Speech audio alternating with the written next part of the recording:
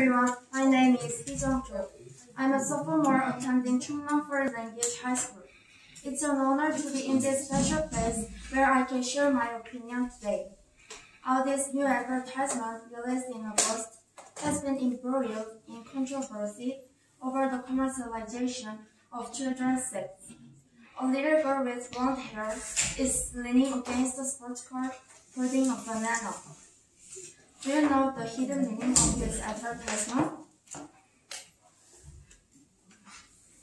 Blonde woman, bananas, and sports cars revealed in the advertisement are typical materials used to present sexy images.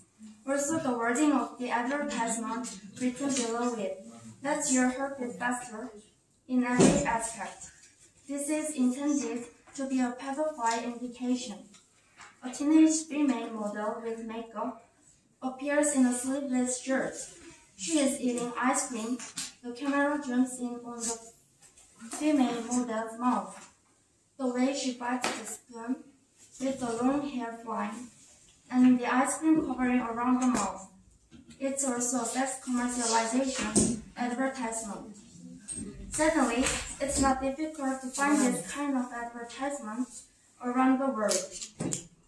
Many countries regard advertisements that target ch children sexually as child abuse and strongly regu regulate them. However, Korea has no ground to legally punish anyone for sexual objectification of children. Also, there are no detailed guidelines. This is why it is difficult to regulate in advance and the level of punishment is weak.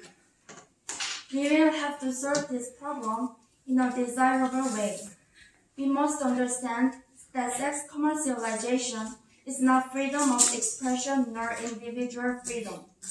Proper sexual culture should be established as soon as possible, not saved by the reason of commercialization. We should also be able to criticize it rather than be indulged in it by simple curiosity and stimulation. There should be no more commercialization of sex in the advertising market. Thank you for listening.